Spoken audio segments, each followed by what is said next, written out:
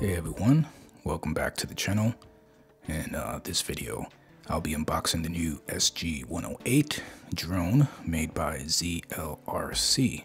It comes in this nice travel case that sort of resembles the same one that comes with the Mavic Mini Fly More combo. Let's unzip it and see what we got in here.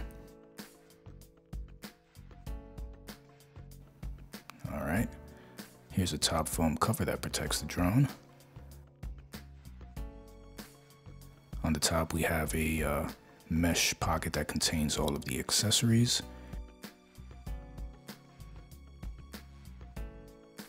Here we have the manual, which seems to be in Spanish, and I do believe that it has other versions in other languages, including one in English. Here we have a set of extra props, two of them to be exact.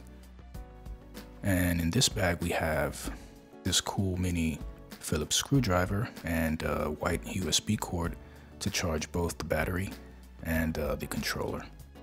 Here's the drone itself. As you can see, it looks a lot like the Mavic Mini, but in black. It's a very small and compact GPS drone. It has a smart battery with indicator lights to let you know how much battery life you have left when pressing the button, which is nice. And here is your USB charging port. In the front, we have the camera, which films in 1080p and photos at a supposed 4K resolution. The camera can be adjusted up and down electronically via the remote. And here they've added some uh, vent holes to allow some airflow inside in order to prevent overheating, which I think is important. I have to say I do like how it looks uh, aesthetically on the outside. I think they uh, did a great job design-wise even though it obviously is a clone of the Mavic Mini. Now this thing is very light and weighs only 242 grams, so it's not necessary for you to register it, but I do recommend you doing so. Plus it's only 5 bucks for 3 years, and your registration number covers multiple drones, so it's definitely worth it. It does have brushless motors, which are very powerful and uh, very durable, compared to the cheap coreless brushed motors, which tend to wear out really fast.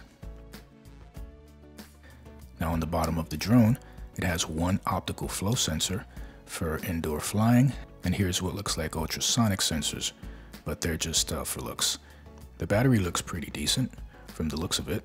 It's also lightweight, and it's a 7.4 volt 2200 milliamp uh, lithium ion which is supposed to give you a 25 minute uh, flight time. All right, so let's check out the remote. Now the first thing that stands out here are the thumb rockers. Uh, they do appear to be made from aluminum and not some uh, cheap plastic ones painted to look like aluminum. So that's pretty nice for a budget drone at this price.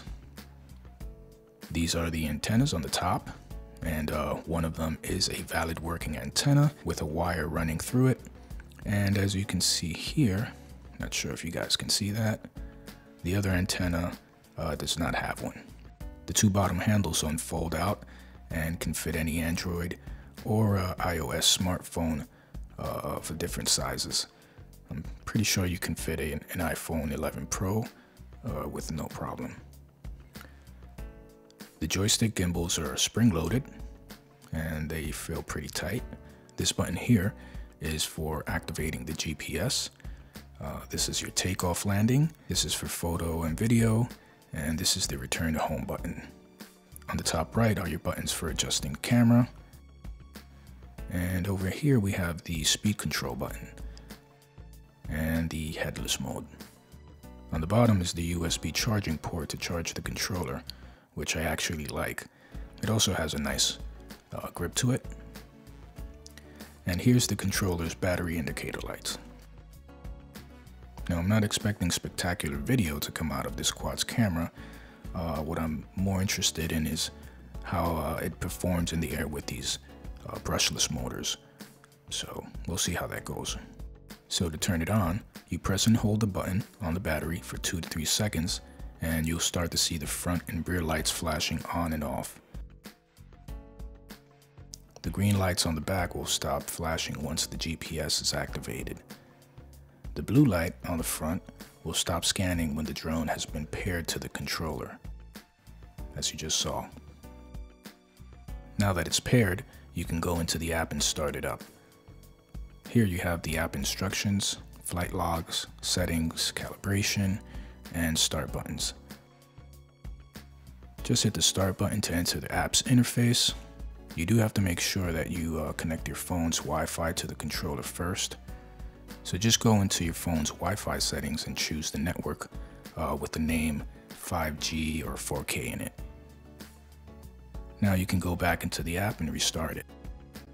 You'll get a prompt safety message on screen. Just click confirm to uh, bypass it.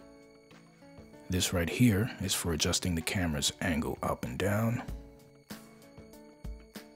As you can see by my hand dance, the uh, camera does work, so that's good. To calibrate the gyro, you just move the two joysticks like this, and the front lights will blink five times. The black lights, however, will stay flashing twice every two seconds. Now to manually start the motors in altitude mode, you just move both uh, joysticks like this.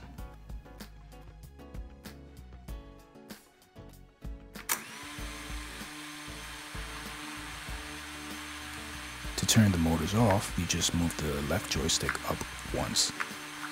Now for some reason it didn't work for me, so I had to go and press the emergency stop button on the app to disarm the motors. I even tried to do this to see if it would stop. Uh, anyway, I do like that it has a stop option, just in case. Just make sure that you don't press it while you're flying, or the drone will drop from the sky. Uh, anyway, thanks for watching. If you enjoyed this video, please hit the like button, and don't forget to uh, subscribe to the channel, and hit that notification bell on the side to be notified when I upload a new video. Alright, see you on the next one.